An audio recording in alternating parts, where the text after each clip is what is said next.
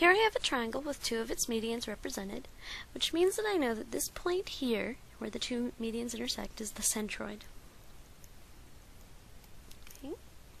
So I'm trying to find the value of x when I know that dt, which is this segment here, and dv, which is this uh, the length of this median here, are represented by these two expressions.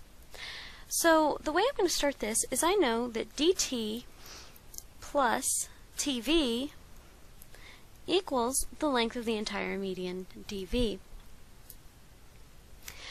So right now I have far too many um, variables here. I have t dt, dv. I know something for those, but I don't know anything for tv.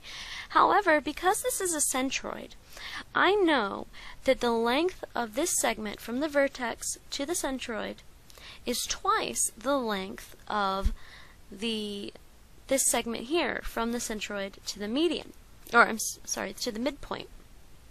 So I know that dt is equal to twice TV.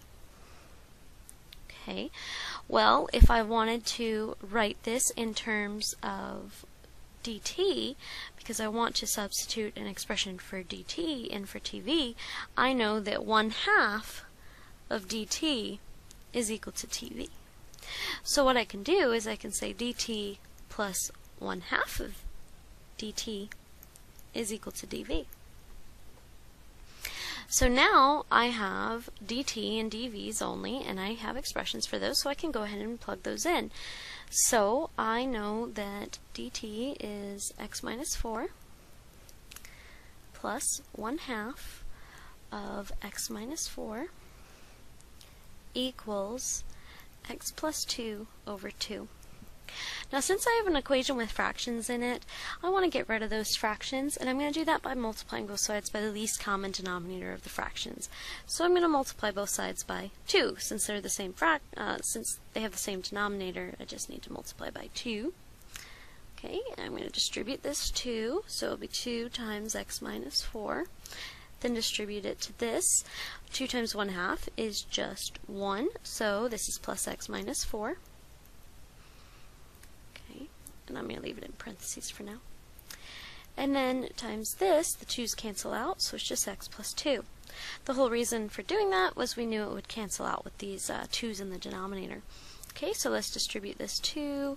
So I get 2x minus 8 plus x minus 4 equals x plus 2.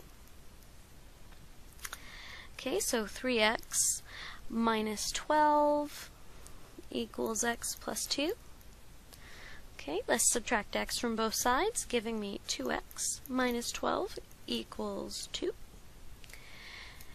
Now let's add 12 to both sides, so I get 2x is equal to 14. And if I divide both sides by 2, I will get x is equal to 7.